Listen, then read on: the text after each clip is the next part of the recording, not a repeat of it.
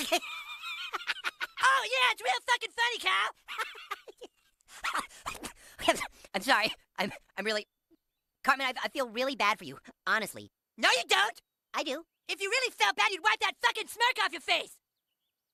Well, any goddamn second, Kyle. I'm sorry. I gotta go home. Jesus Christ, can you... Jesus Christ, can you believe that, asshole? he does feel bad for you, Cartman. He just thinks it's ironic. Ironic how? Well, you know, you're always such a dick and stuff, and, and now... Oh, and what, I deserve it? Is that what you think? Not me. That's just kind of what he thinks. Nobody deserves this illness, Stan. Kenny, nobody. It's awful. And maybe somebody needs to teach Kyle how to have some compassion.